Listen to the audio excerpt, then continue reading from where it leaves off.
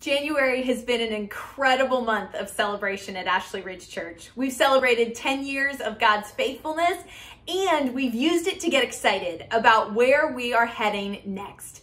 And the biggest thing you heard me say on our 10 year celebration was that Ashley Ridge needs a house because Summerville needs a home.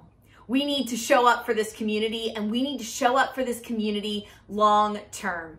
And so we've talked about this for years, but now it's time for us to dig in and to move toward that permanent home. And the next big step for us is to finish paying for the land. Because if we can do that this year, then we're in a position to build next year, which is so incredibly exciting. And so to that end, here's what's next. March 22nd to May 31st, we're going to be doing a building surge where we're going to be inviting everybody to not only get themselves involved, but get your friends and family involved. And we're going to make one big push together to finish paying for the land, which is another $289,000. And then in addition to that, we need about 75 to $100,000 in reserves to be ready to build. And so that's the big picture. You're going to hear a lot more about that in weeks to come. But I wanna go ahead and invite you to do a couple things. One, make sure you're connected to our email list. We wanna make sure you're getting all the updates, hearing what's going on,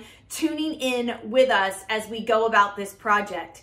The second thing I wanna encourage you to do is start praying now. We're gonna do a church-wide fast from March 1st to the 21st, leading into the surge. Lots more to come on that.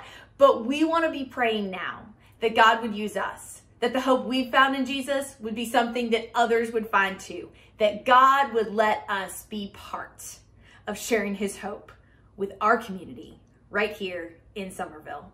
We're for Summerville, we're better together, and it's time to make this place home for the long haul.